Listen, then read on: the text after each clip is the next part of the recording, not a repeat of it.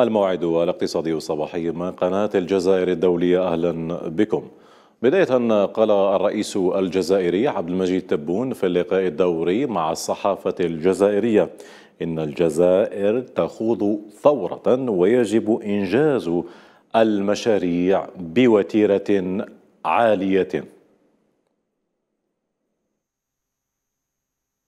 رانا في ثورة c'est une révolution pas une action ordinaire normale الشيء اللي مدار يديروا في سنة لازم ديروا في شهرين ولا ثلاثة باحترام كل المقاييس لازم نعاود نشوف الوسائل تاعنا ونشوف ال rythme تاع العمل ونشغل الناس ونخدم الناس مشروع كبير يبقى مشروع كبير ما نطرقليش بامور هذا هو الشيء هذا التفكير هذا أنا رافضه رافضه لأن في بعض المدعيات تفهم في الاخوان تفهم في المسؤولين اليوم العمل سي 3 فوا 8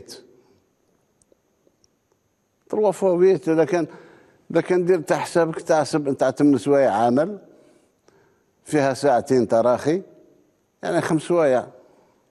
bien sûr دير قرن باش توصل. لكن دير 3 fois 8 راك تربح تربح ثلثي الوقت اللي اعطيتني هذا أنا رافض هذا التفكير هذا. رافض لأن فيه تجارب للدهر. الرئيس الجزائري أكد على ضرورة دعم الإنتاج الوطني وهذا لا يعني خلق النذرة ولا يوجد تقشف في الاستيراد فيما يخص الاحتياجات اليومية للمواطن ومنع الاستيراد لا يكون على حساب هذه الحاجيات. النذرة غير مقبولة. أولا لأن الإنتاج موجود الإنتاج المحلي موجود والإنتاج المستورد مسموح به. قلنا نتقشف في الاستيراد إلا فيما يخص الحاجية تاع المواطن ما فيش تقشف. هذه صرحت بها مرارا وتكرارا. في التزامات تاع بعض القطاعات يقول لك إحنا السنة هذه نلتزم باش نربح 400 مليون دولار استيراد ما نستوردهاش. إيه متفق هذه مليحة. بصح بشرط ما تخلقليش أزمة تاع أدوية. لا استورد دواء لازم. نهار الإنتاج تاعك يطلع.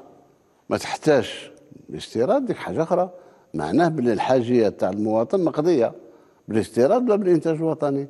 مي مش معناه تخلق فراغ وندرة باش عام ولا عام ونص من بعد يسدها الإنتاج الوطني.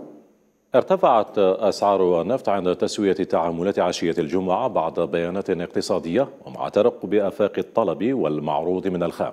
وسجلت العقود الآجلة لخام برنت القياسي تسليم شهر أبريل ارتفاعا ب 1.5% لتسجل 83.16 دولار للبرميل. عند التسوية ليحقق عقد الشهر التالي مكاسب أسبوعية ب 0.2% كما صعد خام غرب تكساس الوسيط الأمريكي تسليم أبريل ب 1.2% عند 76.32 دولارا للبرميل لكنه سجل خسارة أسبوعية طفيفة تعادل سنتين.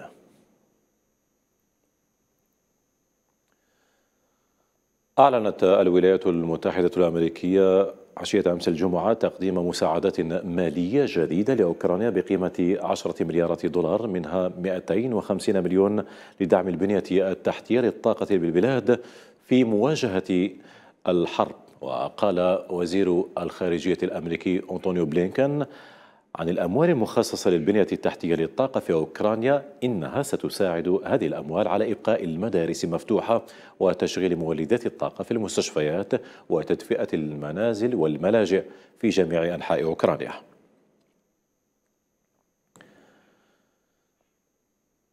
قالت مديرة صندوق النقد الدولي كريستالينا غوركايفا السبت في اجتماع مجموعة العشرين إن هناك بعض الخلافات بشأن إعادة هيكلة الديون للاقتصادات المتعثرة مضيفة أن حظر العملات المشفرة الخاصة يجب أن يكون جزءا من المناقشات.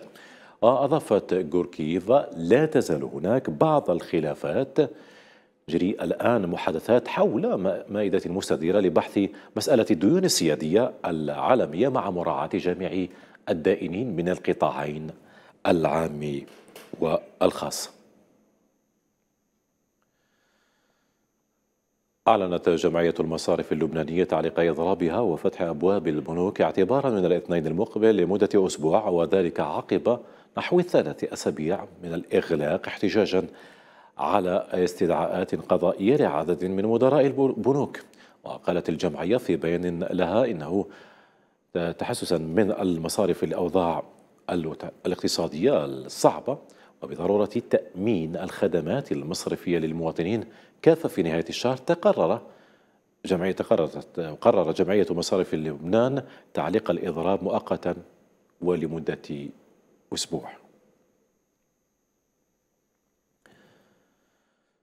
آخر خبر في الموعد الاقتصادي الصباحي يمكنكم متابعتنا عبر شبكات التواصل الاجتماعي الظاهرة أسفل الشاشة. إلى اللقاء.